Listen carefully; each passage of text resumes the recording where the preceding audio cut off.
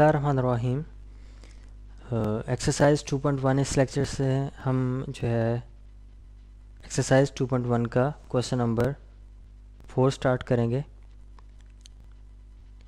तो question number four में हमें कहा क्या गया है write two proper subsets of each of the following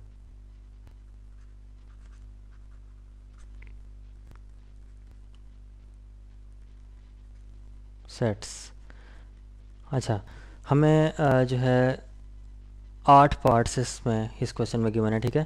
और हर पार्ट में हमें कोई ना कोई सेट गिवन है। हमें कहा गया है कि प्रॉपर सबसेट्स हमने लिखने कोई से भी दो, ठीक है? उस सेट के। लेट्स सपोज़ हमारे पास जो पहला पार्ट है, पहला पार्ट में हमें सेट गिवन है ए बी और सी जिसके एलिमेंट्स हैं तीन, ठीक है? इसके हमने प्रॉपर सबसेट्स लिखने हैं, कोई से दो प्रॉपर सबसेट्स अच्छा प्रॉपर सबसेट्स हम पहले पढ़ चुके हैं उसी तरह से हम लिखेंगे ठीक है?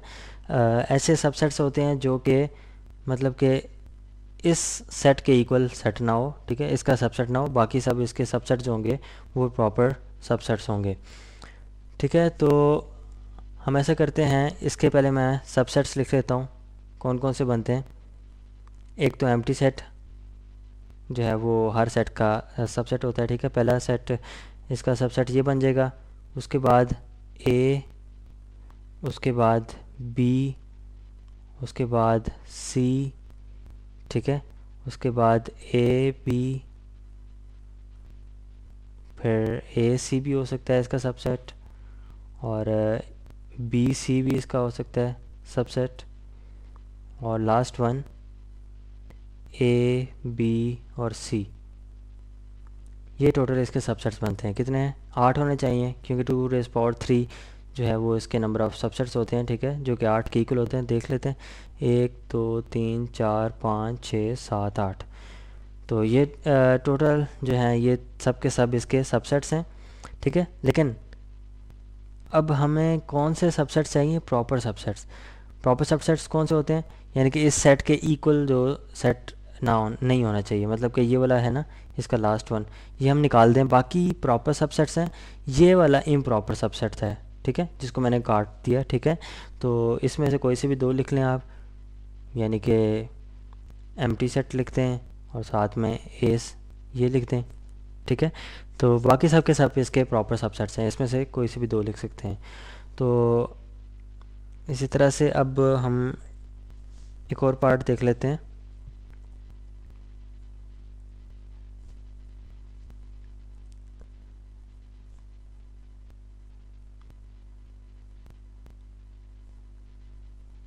पार्ट नंबर सेवन देख लेते हैं।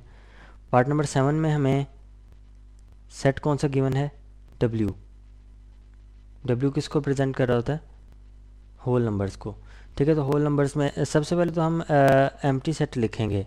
क्योंकि एम टी सेट हर एक सेट का सबसेट होता है। उसके अलावा whole numbers zero one two three कोई सा भी एक सेट एलिमेंट इसमें लिखते हैं टू लिखते हैं या ज़ीरो लिखते हैं तो ये जो है दोनों प्रॉपर सबसेट्स हैं। होल नंबर्स के, ठीक है? तो ये तो हो गया क्वेश्चन नंबर फोर अब मैं आता हूँ क्वेश्चन नंबर फाइव के ऊपर, ठीक है? इसके बाकी पार्ट्स भी बिल्कुल सेम है और बहुत इजी हैं तो आप सॉल्व कर लें। क्वेश्चन नंबर फाइव में क्या है? Is there any set which has no proper subset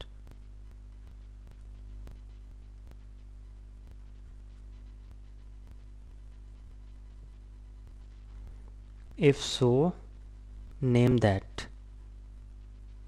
Name that set. मतलब क्वेश्चन क्या है? क्वेश्चन नंबर फाइव है. क्वेश्चन नंबर फाइव में क्या है इज़ देयर एनी सेट क्या कोई ऐसा सेट मौजूद है which has no proper subset जिसका कोई प्रॉपर सबसेट ना हो? इफ़ सो so, अगर ऐसा है तो नेम दैट सेट तो उसका नाम बताएँ।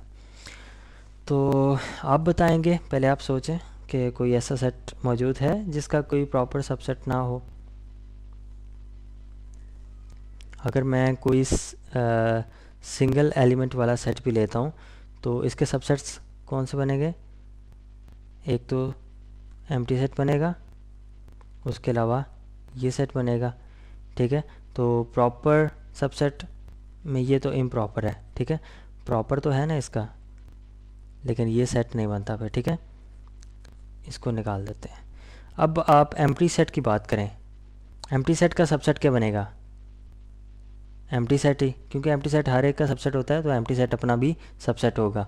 लेकिन ये एम्प्टी सेट जो है, वो इसका इम प्रॉपर सबसेट है, क्योंकि वो इसके इक्वल है। ये दोनों सेट्स आपस में इक्वल हैं तो ये आपस में एक दूसरे के इम प्रॉपर सबसेट्स हैं, ठीक है?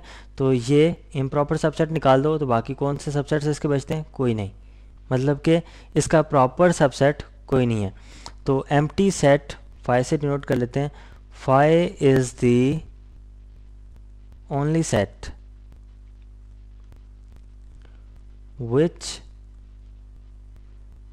has no proper subset कोई इसका प्रॉपर सबसेट नहीं होता। ठीक है? तो ये क्वेश्चन नंबर फाइव भी हो गया। अब हम आते हैं क्वेश्चन नंबर सिक्स के ऊपर।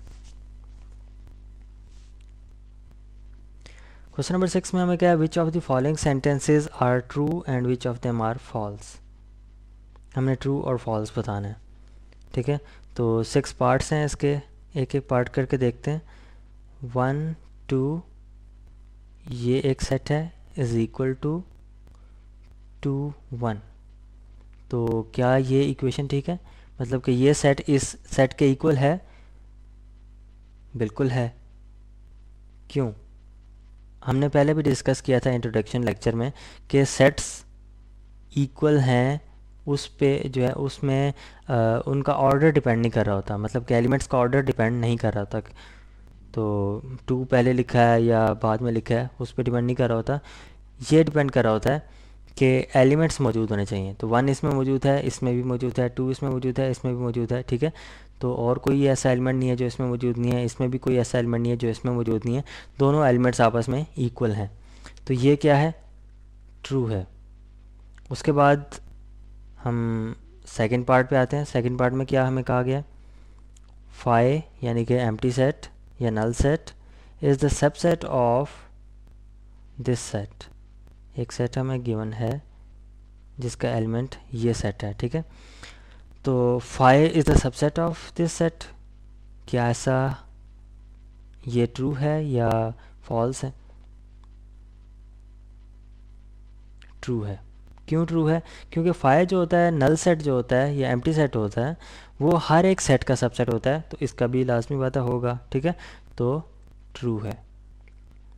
अच्छा अब थर्ड पार्ट पे आते हैं। थर्ड पार्ट में हमें कहा गया है ये set is the subset of this set तो ऐसा है, बिल्कुल ऐसा है, क्योंकि ये इसका एलिमेंट क्या है इस सेट का? ये एलिमेंट है। और इसका हम सबसेट्स लिखने जाएँ तो क्या लिखेंगे? एम्प्टी सेट लिख सकते हैं और ये वाला एलिमेंट लिख सकते हैं, ठीक है? तो ये हो गए इसके सबसेट्स तो बिल्कुल ये इसका सबसेट है। तो ये हम कहेंगे ट्रू है ये भी। नेक्स्ट पार्ट पे आते हैं पार्ट नंबर फोर है। पार्ट नंबर फोर में हमें कहा गया है this set belongs to this set तो बिल्कुल ये एलिमेंट ये इस सेट में ये एक सेट है जिसका एलिमेंट ये है। ठीक है तो हमें कहा गया है कि ये set belongs to this set ठीक है? मतलब कि इस सेट के अंदर ये वाला सेट मौजूद है, बिल्कुल मौजूद है। ठीक है? तो ये भी ट्रू है। पार्ट नंबर फाइव में हमें पूछा गया है A belongs to this set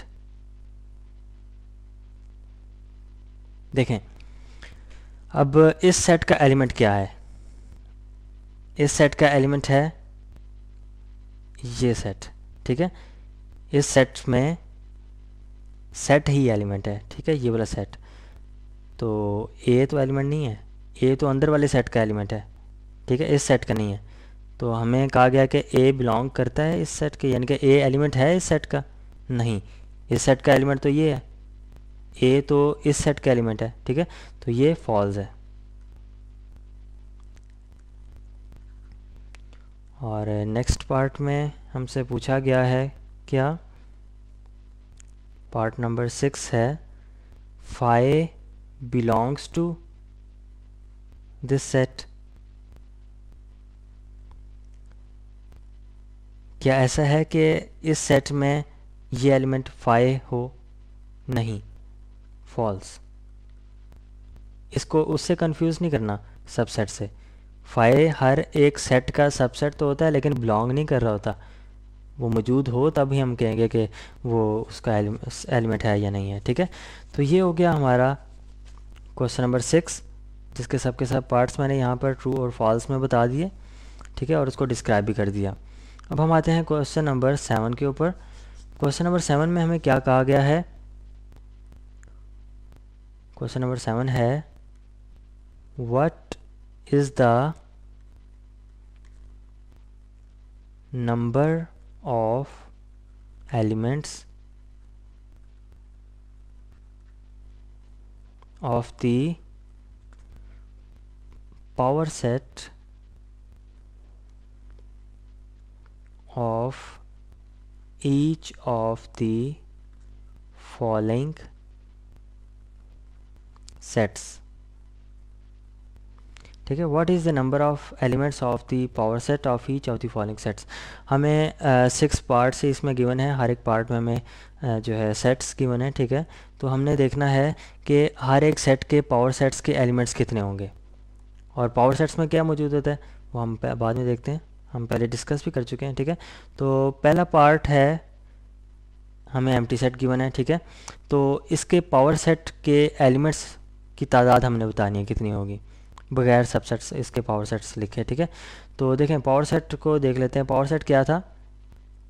power set एक ऐसा सेट होता है जिसमें इस सेट के एलिमेंट यानी कि इस सेट के सबसेट्स पड़े होते हैं, ठीक है? तो इस सेट के सबसेट्स क्या हैं? ये एम सेट है, इसका सबसेट एक ही होता है, जो कि एम सेट होता है। तो ये ही इसका पावर सेट है, ठीक है? तो इसके तादाद कितनी है? वन है। नंबर ऑफ़ एलिमेंट्स इसके पावर सेट्स के कितने? वन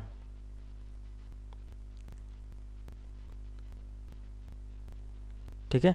तो हमारे पास एक फार्मूला होता है, जिसे हम देख सकते हैं। बगैर सबसेट्स लिखे या बगैर पावर सेट को लिखे, हम बता सकते हैं कि इसके पावर सेट्स की तादाद के एलिमेंट्स की तादाद कितनी होगी। ठीक है? वो होता है टू पावर एन और एन क्या होता है? Number of elements in the set इस सेट में कितने एलिमेंट्स हैं? कोई नहीं है, यानी कि ज़ीरो है। ठीक है? ज़ीरो नंबर ऑफ़ एलिमेंट्स हैं।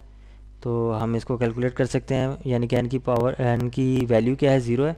टू पावर ज़ीरो किसी भी चीज़ की पावर ज़ीरो हो, वो इक्वल टू वन होती है। ठीक है तो नंबर ऑफ़ एलिमेंट्स क्या आ गए? One number of elements of power set is one तो जो कि मैं यहाँ से पहले भी लिख चुका हूँ, ठीक है? तो नेक्स्ट पार्ट हम देख लेते हैं इसका। उसको हम इस फार्मूले से देखेंगे। ज़ीरो और वन इसके एलिमेंट्स हैं और हमने निकालने हैं number of elements in power set power set के नंबर ऑफ़ एलिमेंट्स बताने हैं, ठीक है? इज़ इक्वल टू फाइंड करना है हमने। और, इस सेट के एलिमेंट्स कितने हैं? Number of elements in set इस सेट के एलिमेंट्स कितने हैं? ज़ीरो वन यानी कि दो हैं। और फार्मूला क्या है? टू पावर एन एन क्या है? Number of elements of set तो two power two is equal to four four होंगे जी, ठीक है? बगैर कैलकुलेट बगैर हमने उसके सबसेट्स लिखे या पावर सेट लिखे, हमने बता दिया number of elements of the subset is equal to four इसको हम लिख देते हैं। Number of elements of power set is equal to four हम इसको चेक भी कर लेते हैं वेरीफाई कर लेते हैं, बाकी फिर आप सिंपल फार्मूले से देख लेना। वेरीफाई वेरिफिकेशन के लिए हम इसका पावर सेट लिखते हैं। इसके सबसेट्स कौन कौन से बनेंगे? एक तो एम सेट बन गया ज़ीरो फिर वन और फिर उसका कॉम्बिनेशन ज़ीरो और वन ये टोटल इसके सबसेट्स बनते हैं, ठीक है? तो इसको एक सेट में लिखते हैं तो इसका पावर सेट बन जाता है। तो पावर सेट में एलिमेंट्स कितने one two three four four हैं। तो हमने जो कैलकुलेट किए थे, वो भी फोर हैं, ठीक है? यानी कि ये वेरीफाई कर रहा है हमारा फार्मूला तो हम बाकी भी देख सकते हैं अगर पार्ट नंबर थ्री को अगर देखें हम पार्ट नंबर थ्री में क्या है? हमें सेट गिवन है। One two three four five six seven ये सेट गिवन है। Number of elements in its power set इसके पावर सेट्स के नंबर ऑफ़ एलिमेंट्स हमने बताने हैं तो हम टू पावर एन करेंगे। एन क्या है? इसके नंबर ऑफ़ एलिमेंट्स हैं, जो कि सात हैं। ठीक है? One two three four five six seven two power seven आ जाएगा। तो टू पावर सेवन किसके इक्वल होता है? वन टू एट के। ठीक है? तो number of elements of its power set number of elements of power set is equal to one two eight इसी तरह से बाकी पार्ट्स भी आप सॉल्व कर सकते हैं इसके, ठीक है? इसी फार्मूला से टू पावर एन से। अब हम ऐसा करते हैं कि नेक्स्ट क्वेश्चन पे आते हैं। Question number eight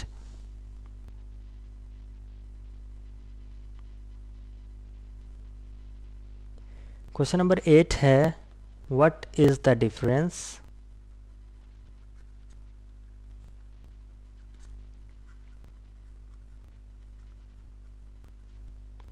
between दो सेट्स हमें गिवन है, उन दोनों के दरमियान में हमने डिफरेंस बताना है, ठीक है? एक ये सेट है और दूसरा सेट जो हमें गिवन है, ये है। What is the difference between these two sets? आपको क्या डिफरेंस नज़र आ रहा है? देखें, पहले सेट में नंबर ऑफ़ एलिमेंट्स कितने? इस सेट में नंबर ऑफ़ एलिमेंट्स कितने? एक ये है और एक ये है, दो एलिमेंट्स हैं। ठीक है? और जब इस सेट की बात करें तो इसमें नंबर ऑफ़ एलिमेंट्स कितने ये एक सेट है ना? ठीक है? जिसके अंदर ये एक एलिमेंट पड़ा हुआ है। तो नंबर ऑफ़ एलिमेंट्स कितने number of elements is equal to one है। ठीक है? ये एक पूरा एक एलिमेंट है, जो कि ख़ुद एक सेट है। ठीक है? तो ये डिफरेंस है इन दोनों सेट्स के दरमियान में कि इसमें नंबर ऑफ़ एलिमेंट्स कितने हैं? टू इसमें नंबर ऑफ़ एलिमेंट्स कितने वन तो या फिर हम ऐसे कह सकते हैं कि ये है set of elements set of two elements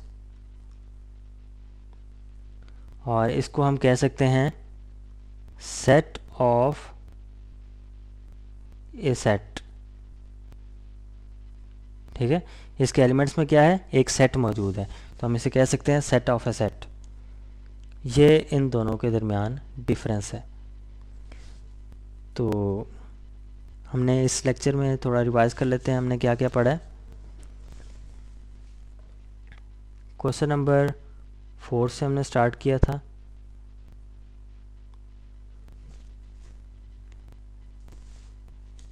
question number four में था